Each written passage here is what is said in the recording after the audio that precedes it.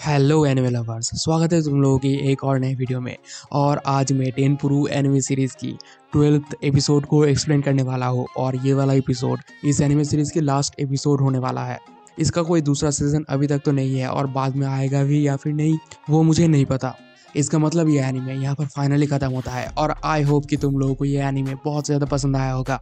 तो ज़्यादा बग ना करते हुए चलिए एक्सप्लेनेशन शुरू करते हैं। एपिसोड की शुरुआत में हमें यूजिकी को दिखाया जाता है, जहाँ पर वो अपनी मॉम के साथ चल रही थी। मतलब यहाँ पर वो अपने फ्लैशबैक में थी, जहाँ पर यूजिकी की मॉम उसे बोलती है कि एक टेंपल को संभालना कोई आसान काम नहीं है, ये बहुत ज़्यादा हार्ड होने वाली है। तुम्हें बहुत सारे चीज़ों की ध्यान रखना होगा। और फिर यहाँ पर हमें इंट्रो दिखाया जाता है। और इंट्रो के बाद हम देखते हैं यूजुकी अभी भी उस सदमे के अंदर थी, जहाँ पर वो आकागमी को ये बोल देती है कि this is none of your business मतलब मतलब वो बहुत ज़्यादा गुस्से में आकागमी को ये बात बोल दी थी। अब वो थोड़ा सा गिल्टी महसूस करती है और वो सोचती है कि उसे शायद आकागमी से माफ़ी मांग लेनी चाहिए। तभी उसे बाहर से आकागमी की आवाज़ सुनाई देती है और वो जब दरवाज़ा खोल के बाहर देखता है, तब वो देखता है कि आकागमी और सुकियो दोनों एक दूसरे के साथ खड़े हुए हैं और उन दोनों को बहुत ज़्यादा खुश दिखाई दे रहा था।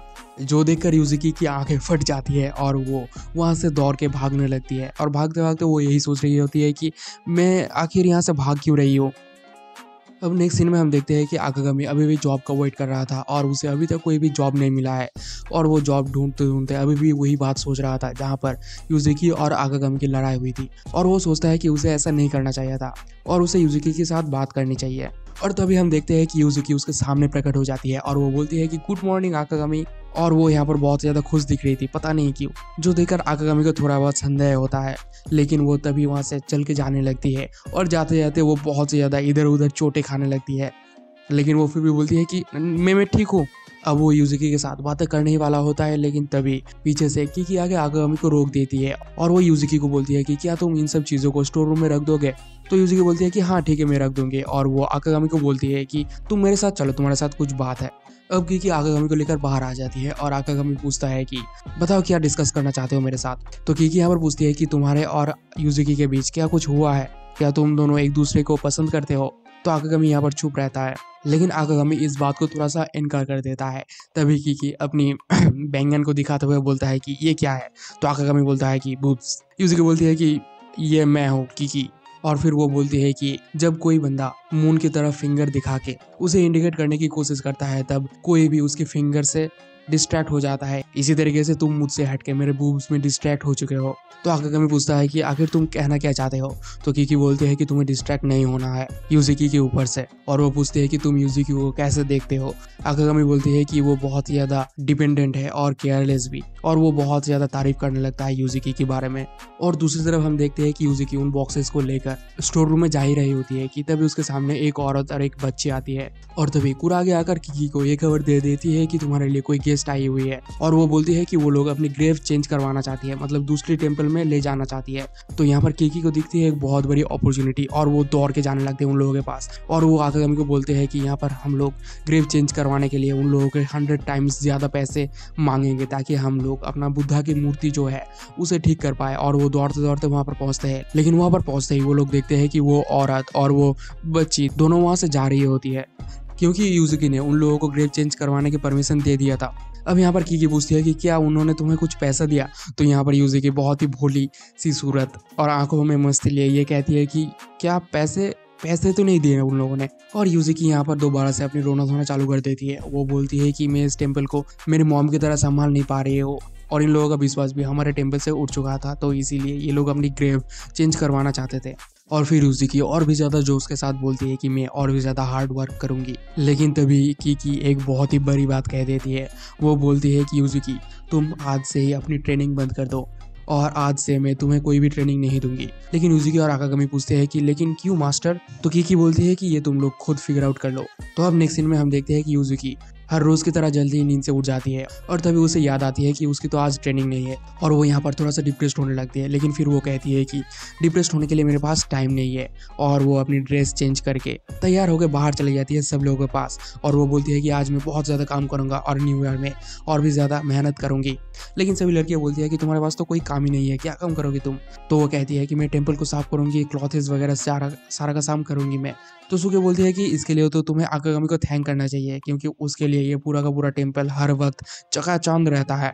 जो सुनकर यूजी की आँखें तो गोल गोल हो जाती है, क्योंकि उसके पास तो अब और कोई काम ही नहीं बचा है करने के लिए। तो इसी को पूछते हैं कि, अरे आकागामी कहाँ है? तो इसुके बोलते हैं कि, क्या पता, वो और की कहीं पर तो गए हैं, और हम लोगों को नहीं पता कि वो कहाँ पर गए हैं, और आकागामी मेरा मैसेज भी नहीं सीन कर रहा है। जो सुनकर यूजी की थोड़ा सा सदमे में चली जाती है और मियाँ कहती है कि क्या तुम्हारे पास आकाकामी की कॉन्टैक्ट नंबर है? और कुरागे बोलती है कि मेरे पास भी तो नहीं है उसका कॉन्टैक्ट नंबर हम लोगों को भी चाहिए। और यहाँ पर मियाँ और कुरागे दोनों मिलकर चीखने चिल्लाने लगते हैं। और फिर वो तीनों लड़कियाँ सुकियो को चीटर चीटर कहने लगते हैं। अब नेक्स्ट सीन में हम देखते हैं कि यूजू की झाड़ू पोछा लेकर टेंपल को साफ़ करने के लिए जाती है, लेकिन वो देखती है कि टेंपल तो बिल्कुल पूरी तरीके से एकदम चकाचक हुई है, जो देखकर यूजी की थोड़ा सा उदास होती है। और वो बोलती है कि अब मैं क्या करूँ? अब नेक्स्ट सीन में हम देखते हैं कि यूजू की एक बस स्टैंड में बैठी हुई है। और वहाँ पर बैठ के वो काम के लिए डिफरेंट डिफरेंट शॉप्स में कॉल कर रही होती है और यहाँ पर हम देखते हैं कि उसे किसी भी शॉप में काम नहीं मिली होती है। और वो तो अभी वहाँ से उठ के एक वेंडिंग मशीन में चली जाती है थोड़ा सा ड्रिंक्स पीने के लिए। लेकिन उसके पास इतना पैसा नहीं था कि वो एक ड्रिंक खरीद पाए तो इसीलिए वो वहाँ से चल के एक दूसरे शॉप के सामने जाके खड़ी होती है। तभी उसके सामने एक लड़का आता है, जिसे देख कर उसी की वहाँ से दौड़ के भागने लगती है और तभी वहाँ पर अचानक से बारिश होने लगती है। दूसरी तरफ़ हम देखते हैं कि आगागामी और की दोनों एक रेस्टोरेंट में थे, जहाँ पर आगामी कीकी को बहुत ज़्यादा रिक्वेस्ट कर रहा होता है ताकि वो यूजिकी को ट्रेनिंग देना शुरू कर दे, लेकिन यूजुकी यहाँ पर बिल्कुल भी नहीं मानती। और वो वहाँ से उठ के जाने ही वाली होती है, लेकिन तभी वो गेट खुल के देखती है कि बाहर तो बहुत तेज बारिश हो रही है और तभी आकागामी को एक कॉल आता है और वो जब कॉल को रिसीव करता है, तब दूसरी तरफ़ से सूखे बहुत ही तेज चीख उठती है और वो बोलती है कि अभी तुम्हें टाइम हुआ मेरा कॉल रिसीव करने का और वो बोलती है कि यहाँ पर एक बहुत बड़ी प्रॉब्लम खड़ी हो चुकी है। हमें यूजिकी कहीं पर नहीं मिल रही है, जो सुनकर आकागामी बारिश में ही दौड़ के निकल जाता है यूजिकी को ढूँढने के लिए और आकागामी हर एक उस जगह को ढूंढता है जहाँ पर यूजुकी जा सकती है, लेकिन उसे कहीं पर भी यूजुकी नहीं मिलती है। लेकिन दूसरी तरफ़ यूजुकी उसी जगह पर छुपी हुई थी जहाँ पर आकागामी सेकेंड एपिसोड में छुपा हुआ था। और यहाँ पर बैठकर वो ये सोच रही होती है कि आखिर मैं क्या करूँ ताकि मैं मोम की तरह बन जाओ। और इस तरफ़ आकागामी तो अभी तक उसे ढूंढ ही रहा होता है। अब उस जगह पर यूजी को बहुत ही बुरे बुरे ख्याल आने लगते हैं। फ्लैशबैक में हमें दिखाया जाता है कि यूजी की मॉम सभी लड़कियों को मतलब वहाँ पर मौजूद तीनों लड़कियों को ये बोलते हैं कि तुम लोग इस टेंपल को छोड़ने की तैयारी कर लो, क्योंकि ये टेंपल बंद होने वाली है और मैं इस टेंपल को बचा नहीं पाऊँगी। तो यूजी की बोलती है कि मैं इस टेंपल को चलाऊँगी। तो उसकी मॉम बोलती है कि तुम इस टेंपल को नहीं चला सकते। और यहाँ पर यूजिकी को कीकी और आकागमी की ख्याल आने लगता है, जहाँ पर उसे ये दिखाई देता है कि कीकी उसे ये कह रही है, तुम कल से ट्रेनिंग को बंद कर दो। और आकागमी उसे ये कह रहा होता है कि तुमसे कुछ नहीं हो पाएगा। मतलब वो ये सब कुछ उसके माइंड में चल रहा था। और यूजिकी यहाँ पर बहुत ज़्यादा उदास के साथ साथ बहुत ज़्यादा डिप्रेस भी थी।